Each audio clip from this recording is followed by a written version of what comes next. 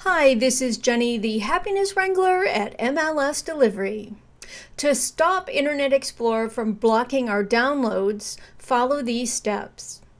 Add the site to your trusted site list, delete your browser history, and if necessary, turn off your smart screen filter. From either the delivery email or by typing in our URL, go to our website. Launch the Tools dialog box by clicking the gear icon and then click Internet Options.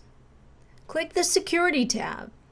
Then click on the Trusted Sites icon. And then click the Sites button. The URL is pre-populated in the address block. Just click Add. Now back on the Internet Options dialog Security tab, click the Reset All Zones to Default Level button. Click OK. Regularly viewing and deleting your browsing history helps protect your privacy, especially if you're using a public or shared computer. On Internet Explorer, select the Tools button, point to Safety, and then select Delete Browsing History. Make sure you uncheck Preserve Favorites and Website Data, and that History and Download History are selected. Click the Delete button.